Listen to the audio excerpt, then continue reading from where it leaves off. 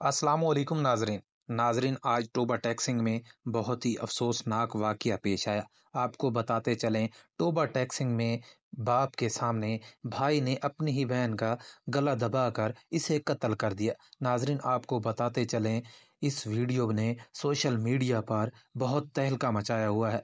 जब इस वीडियो की हमने तहकीक की तो पता चला इस भाई ने बहन को गैरत के नाम पर कत्ल कर दिया और बाप साथ बैठा देखता रहा, क्योंकि बाप के दिल में ज़रा सा भी प्यार ना आया। नाजरीन, आपको बताते चलें, टोबा टैक्सिंग में पेश आने वाला ये अफसोसनाक वाकया चंद दिन पहले का है। सोशल मीडिया पर यह वीडियो आजकल वायरल हो रही है, लेकिन ये वह हादसा सात मार्च का है।